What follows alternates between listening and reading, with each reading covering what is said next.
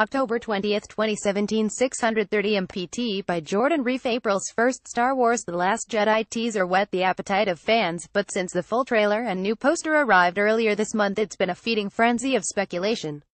Fan speculation is running rampant on whether or not Luke Mark Hamill has gone over to the dark side or perhaps that Daisy Ridley's Rey who is turning that way. Director Rian Johnson and producer Ram Bergman recently sat down to talk about the movie as part of Ireland Week on Culture, Art and Commerce at LA's Regal Theatres through October 21. A significant portion of The Last Jedi was shot at Ireland's UNESCO World Heritage Site Skellig Michael, which fans remember from the final frames of The Force Awakens, Luke's Emerald Tower hideaway high above a roiling sea. That very last image of The Force Awakens with Rey holding the lightsaber out to Luke, that was so evocative. In every other case Star Wars movies jumped forward in leaps of time. I knew I was supposed to do that but the last image was intriguing.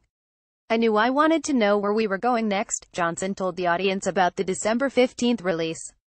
A behind-the-scenes video showed Daisy Ridley, John Boyega, Oscar Isaac and Mark Hamill scampering up and down Skellig's steep hillside and shooting scenes in Oscar-winning production designer Rick Heinrichs' breathlessly cantilevered Jedi Village suspended 700 feet above the surf.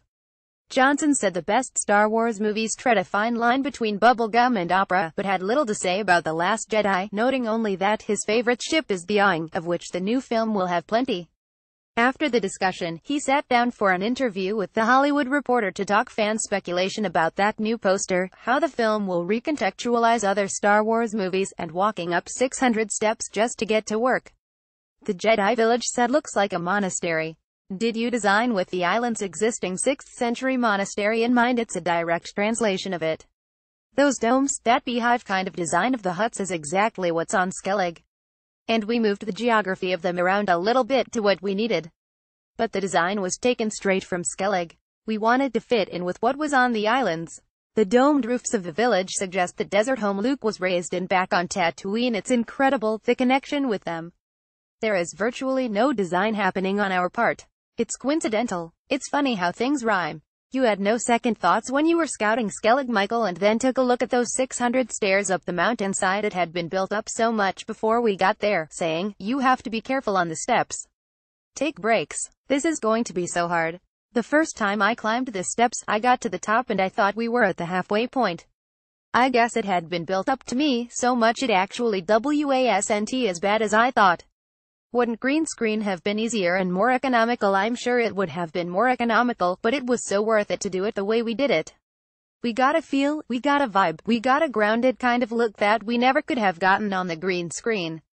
I guess I should add that I was just trolloping up the stairs without a pack on my back. All of our great Irish crew, who acted as Sherpas carting our equipment up the stairs, it was much more difficult for them. I don't want to be cavalier about the stairs. What do you think of the speculation surrounding the latest poster and has Luke gone over to the dark side having been a Star Wars fan myself for the past 40 years, having spent most of my life on the other side of the curtain, I know the anticipation and the guesswork and theorizing is all part of the fun and game of it.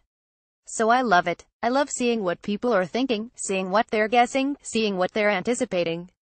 Part of it is recontextualizing past movies. How does yours do that? Each new film hopefully recontextualizes what came before it. That's part of the game. Yes, it's a continuation of not only The Force Awakens but also of the legacy leading up to it. And of course the third movie will be referencing your movie. Have there been any discussions J.J. Abrams is doing a third movie? I'm not involved in it. They'll be writing their own story but continuing on with what we did. Star Wars The Last Jedi opens December 15th.